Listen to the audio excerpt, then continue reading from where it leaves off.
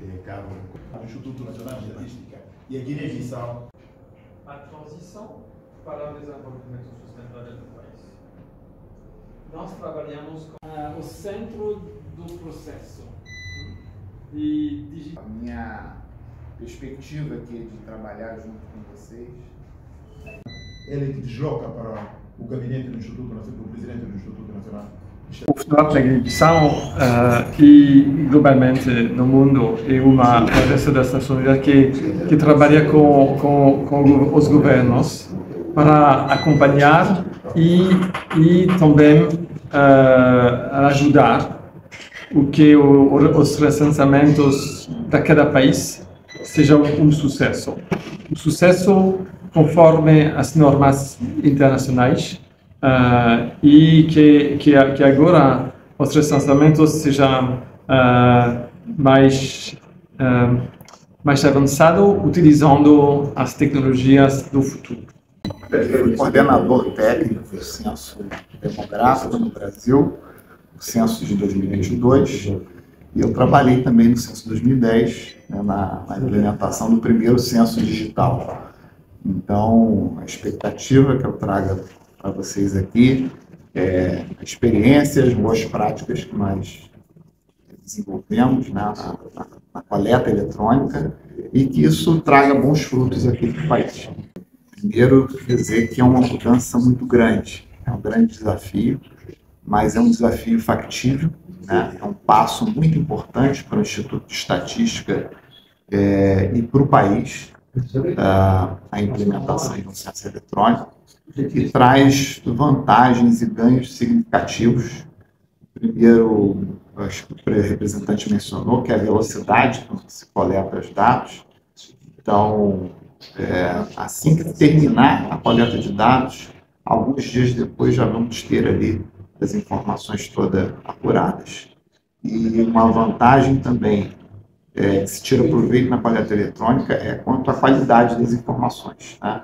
questionário em papel, em algumas situações as perguntas têm que ser saltadas ou puladas e o recenseador é, tem que fazer isso de forma visual, enquanto no equipamento eletrônico as perguntas são feitas automaticamente de acordo com a aplicação é, para cada uma das pessoas. Então, é, a gente tem um ganho de qualidade aí é, que é fundamental é, para produzir esse grande retrato da população. Tá?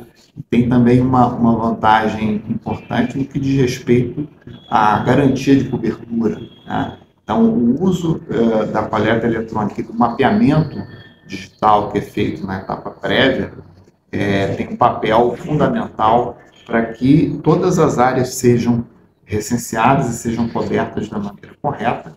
E, é, costumo dizer, o censo tem o papel de contar toda a população, ninguém pode ficar de fora.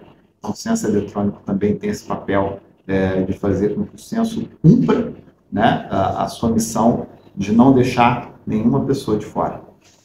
Bom, e, e para falar com a, a cerimônia que nós estamos nela e a apresentação oficial de conselheiro técnico de recenseamento geral de população e habitação.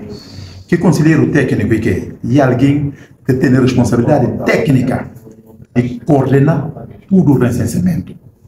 Mas que alguém, como é que ainda tu que chega ali aos, tu não apresentado ele pode, senhor representante de fundo porque tem sido, havia lançado um concurso internacional, manga de gente concorrer naquele concurso, ritos internacionalmente aceitos. E não sei como não fazer trabalho, até que não acompanhado para o Fundo, Nações Unidas para a população. Tudo, qualquer passo que não é dali, não tem estado a seguir para que gente. E homem, que pode é bem, é, considero, boca da entrevista agora, ele que ganha que concurso a OCTC para vir apresentar. Agora, e está apontado quando que é processo? Processo como saia. Havia essa uma fase, essa uma maratona. Mas não é que o senhor representante fala ali. E na Coreia, cartografia e a formação na terreno, não tem um perito que está ali. Corse, ele e para conselheiro técnico, depois trabalhos como saia e como saia. Agora, que propriamente dito, bem falar de uma paguinte obtudo, um recenseamento, como já, que lá, na cronograma que não tem, e só para o próximo ano de 2025, em abril. Mas, mas trabalho como seja, porque perito estudo está ali. Não pensa agora não muda no modus operandi ou no papel de recenseamento, não passa, vai dar papel no, no, no, departamento central de recenseamento. E para falar como esses trabalhos começam já, se pode chegar bom, já, e começar a fazer já trabalhos de gabinete, corte de mapas, corte de mapas, principalmente cidade de Bissau, de que não se vê como aí começaram a criar a delimitação, e sempre que não falar, de que Pandé dividir com Belém, de que Belém dividir com de que Pandé dividir com Kuntum, e por aí fora. É como se já fazer aquele trabalho. É para mostrar como é que manda, não tem ninguém que está seguindo no trabalho, e aquilo que nós temos, assim, de, de, de aos. Para o sucesso do país. Muito obrigado. Muito obrigado, senhor presidente. Bom, Thank